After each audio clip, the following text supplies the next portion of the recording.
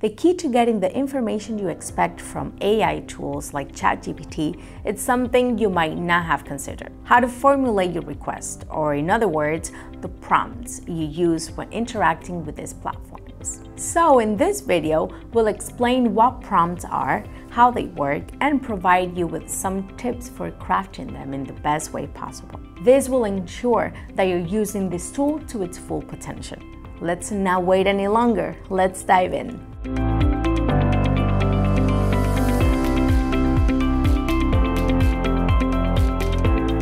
In artificial intelligence, a prompt is a set of instructions given to the tool to make it perform a specific action. In other words, a prompt is the instruction a user provides through a dialog box to obtain a specific response.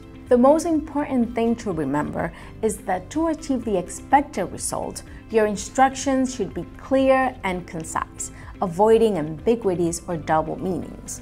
The more specific information you provide, the better the response you'll receive. When you pose a question or specify your expectations from the tool, it attempts to interpret the information you've given.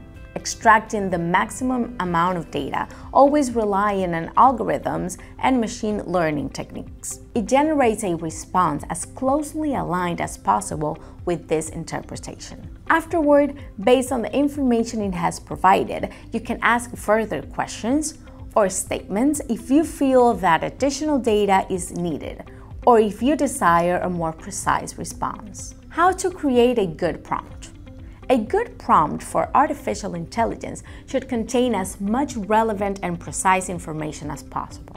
It's essential to avoid data that could be incorrect or confusing, as well as any ambiguities or double meanings. This means that any information that could confuse the AI is best left out. Whenever possible, you should provide context so that the AI system can offer a more comprehensive response. Additionally, any questions should be as specific as possible and presented in a way that the system can understand. This applies to text-based tools like ChatGPT and also to image generation tools like DALL-E 2. If you want to discover some of the best current artificial intelligence tools, click here. There are likely many you don't know about and you can start exploring them. But for now, let's focus on ChatGPT. Always keep in mind that what ChatGPT suggests should serve as an idea or a starting point for your task. You should never use it directly as a final content. It's important to review and add your own contributions. With that said, let's look at 10 examples of prompts you can start using with ChatGPT. While these examples revolve around the field of marketing, you can adapt them to your industry or specific needs. 1. Organize information in table format. You can ask it to organize the information or content you provide in table format. For example, you can specify your position in your company and request a SEO strategy for the next four webinars you plan to conduct. Then, ask it to create a table with different sections of the website, specifying what you want in each column. By simply providing the names of each webinar, it will propose what to include in each section of the website according to an SEO strategy. 2. Create newsletters for your database. You can get ideas on what to include in your newsletters. You can instruct it to create a subject and the text for an email based on the information you provide. You can also ask it to conduct A-B testing with the subject, giving you various options to send to different subscriber groups. Once you determine which one has the highest click-through rate and has worked best, you can apply the results to your entire list. You can also use the body text as a template for further personalization. 3. Analyze competitor ads. This can be very useful if you notice a competitor is running a Google Ads campaign on a keyword that's of interest to you. You can show ChatGPT the ad copies your competition is using and ask it to identify their strengths and weaknesses, marketing appeals, and copywriting techniques. With this information, it will analyze the content and categorize what it finds into strengths and weaknesses, allowing you to emulate and improve those copies for your own use. 4. Create a digital analytics plan. In just a few seconds, you can access a digital marketing plan and discover how to achieve your business objectives. You'll only need to instruct it to organize various parameters into columns for analysis based on a specific analysis method. It will then provide you with the goals, KPIs, measurement objectives, and analysis segments you need for each business objective. 5.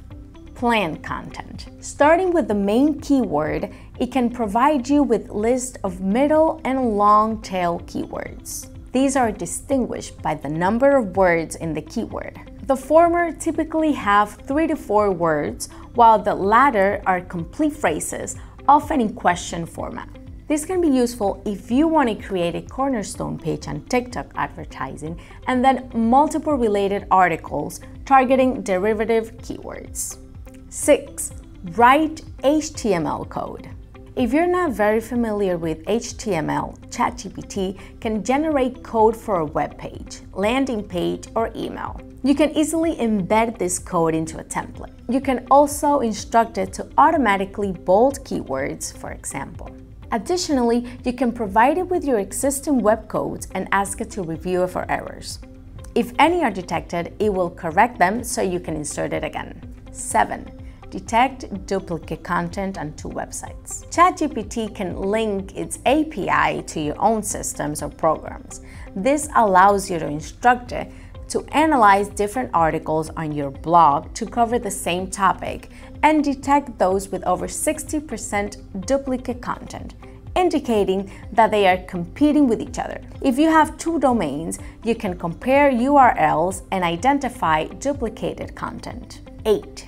Predict campaign metrics. This is a valuable way to determine the right metric forecast for a successful campaign and achieve a return on investment based on your budget. You can instruct it on your own product or service, its price, the campaign's duration, your budget, and the ROI you expect to achieve. Requesting metrics in table format can provide you with a clear and more concise overview. 9. Plan a social media content calendar.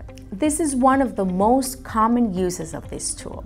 You can ask it to design a content calendar for your company across various platforms. This can include the copy for each video, ideas on how to film it, scripts, or even the keywords you'll be covering with that content. 10. Write a script for a video.